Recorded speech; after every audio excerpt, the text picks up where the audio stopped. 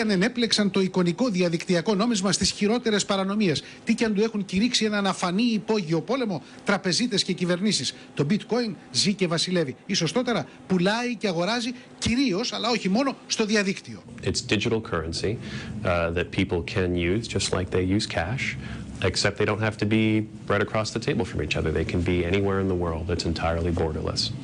Το μέχρι πριν από λίγο καιρό άγνωστο νόμισμα, το μόνο στον κόσμο που δεν υποστηρίζεται από κάποια κεντρική τράπεζα, ήταν το νόμισμα που χρησιμοποιούσαν οι κακοποιοί του ιστότοπου Silk Road για να εμπορεύονται ναρκωτικά, να ξεπλένουν χρήμα, ακόμη και να πληρώνουν για συμβόλαια θανάτου. Όταν λοιπόν το FBI εξάρθρωσε την πολυπλόκαμη παράνομη σπήρα, κάποιοι πίστεψαν ότι τελείωσαν και με το bitcoin. Όμως η τιμή του ανέβηκε.